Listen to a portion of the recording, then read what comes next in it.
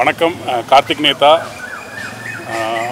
ரொம்ப நன்றி ரொம்ப மகிழ்ச்சி நீங்கள்லாம் வந்து இந்த படத்தை பார்த்து உங்களுடைய முகங்களில் தெரிஞ்சது. படம் எவ்வளோ ஆழமாக கடத்தப்பட்டிருக்கு அப்படின்னு ரொம்ப நன்றி அதுக்கு. நான் ரொம்ப நன்றி சொல்லணுன்னா தயாரிப்பாளர் அண்ணன் தியாகராஜா அவர்களுக்கும் இயக்குனர் அண்ணன் செல்வா ரெண்டு பேருக்கும். படம் பார்த்து உங்களுக்கு தெரிஞ்சிருக்கும்னு நினைக்கிறேன். நான் பெருசாக அதை இது பண்ணுறதா இல்லை. பாடல்கள் பட்டு மட்டும் கொஞ்சம் சொல்லிக்கிறேன். கோவிந்த சந்தாக்கும் ரொம்ப நன்றி. இந்த பாடன பாடகர்கள் அத்தனை பேருக்குமே ரொம்ப நன்றி இசைக்கலைஞர்களுக்கு இந்த பாடல் ஒவ்வொரு பாட்டிலையுமே நம்ம தற்கால சமகால தமிழ் சமூகத்தில் இருக்கக்கூடிய எளிய மக்களினுடைய மனநிலை அப்படியே பிரதிபலிச்சிருக்கும். அது நீங்கள் கேட்கும்போது உங்களுக்கு தெரியும். ஆமாம் இதில் புலிப்பாண்டியாக வரக்கூடியவர் இருக்கார் இல்லையா? ஏறக்குறைய என்னுடைய கடந்த காலமும் இந்த புலிப்பாண்டி மாதிரியான ஒரு வாழ்க்கை தான்.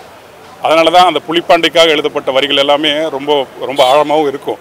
அது என்னுடைய அனுபவத்துலேருந்து நான் எழுதியிருக்கேன். மாமகனேங்கிற பாடல் அது வந்து எனக்கு எழுதும் போதே ரொம்ப ரொம்ப பிடித்தமான ஒரு பாட்டாக இருந்தது.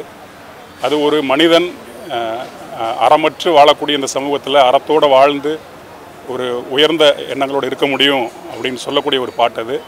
அதில் எல்லா பாடல்களையும் நீங்கள் கேட்டிருப்பீங்க. படம் ஒரு நீரோட்டமான திரைக்கதை வந்து ரொம்ப அழகாக வந்திருக்கு. எல்லோரும் ரொம்ப சப்போர்ட் பண்ணுங்கள் எங்களுக்கு. நண்பர் வெற்றி கதாநாயகி வினோத் அண்ணா முக்கியமாக இந்த சாமியை சரணமையப்பா பாட்டில் ரொம்ப என்னமோ கோயிலுக்கு போயிட்டு வந்த மாதிரி இருந்தது. அப்படி ஒரு காட்சி அமைப்பு. ரொம்ப நன்றி வினோத் அண்ணாக்கு. சார் காசி சாருக்கு எடிட்டர் சாருக்கு. ஒட்டுமொத்தமாக எல்லாத்துக்குமே ரொம்ப நன்றி. இது வந்து அறமோடு வாழ்ந்தால் வந்து எந்த பயனுமே இல்லை.